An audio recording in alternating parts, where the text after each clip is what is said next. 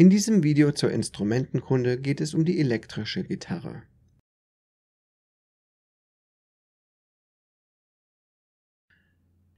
Erste E-Gitarren wurden um 1920 hergestellt.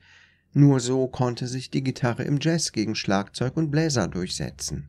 Die E-Gitarre spielt in der Rock- und Popmusik eine wichtige Rolle. Wird die E-Gitarre als Rhythmusgitarre eingesetzt, dann ist sie für Akkorde und rhythmische Begleitung zuständig.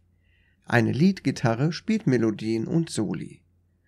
Auch für den Bass wird oft die elektrisch verstärkte Form verwendet.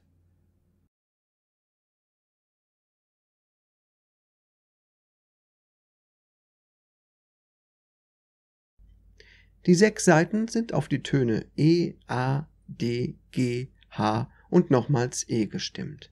Es gibt verschiedene Sätze, die dabei helfen, sich diese Buchstaben zu merken. Ein Anfänger der Gitarre hat Eifer. Eine alte Dame geht heute einkaufen. Die ersten Buchstaben entsprechen jeweils den Saiten der Gitarre.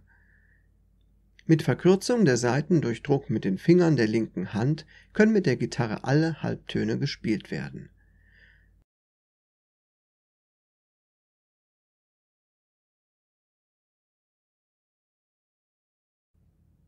Die Saiten einer E-Gitarre sind recht dünn und bestehen aus Stahl.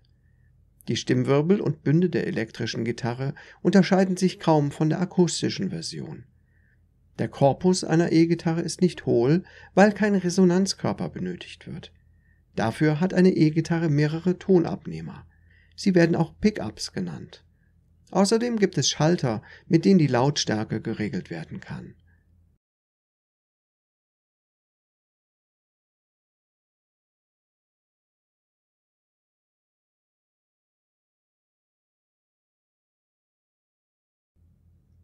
Die Schwingung der Saite einer E-Gitarre beeinflusst ein Magnetfeld, wodurch eine geringe Spannung entsteht.